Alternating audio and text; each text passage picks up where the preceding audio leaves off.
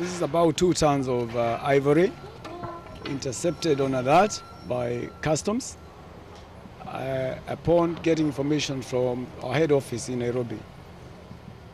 Now, when we got the alert, we moved over to the scene and called KPA so that they could offload the container which was about to, to be loaded on the, on the vessel.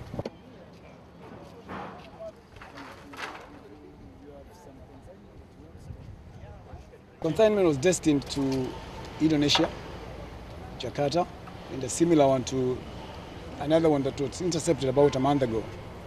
The exporter is actually the same person, and uh, we are zeroing in on the, on the main culprits.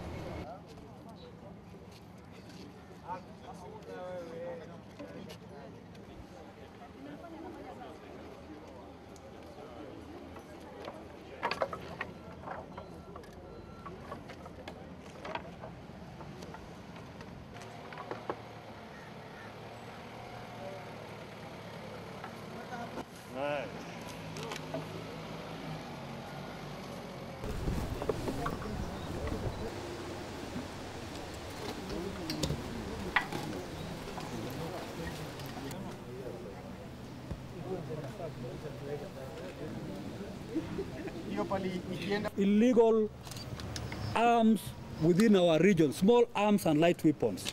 As we are talking currently, we are talking about 600,000 plus illegal firearms in the illegal hands.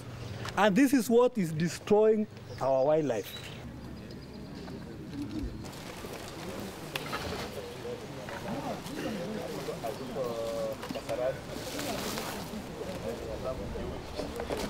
That is correct. What do you call it when you pour blood? Isn't that blood ivory?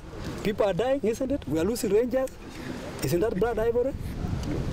I mean, it's not, it's not ivory that is genuine. Am I, what do you look at it? So we have to be honest and call it the, the worst term we can call it. this that this is a, a piece of uh, a rhino horn that is will be horned. So bad. I feel so bad. And I'm saying that it is called for action now. We should all act. That's a, in brief, that's what I want to say. Kenyans and the world, it's time for us to act.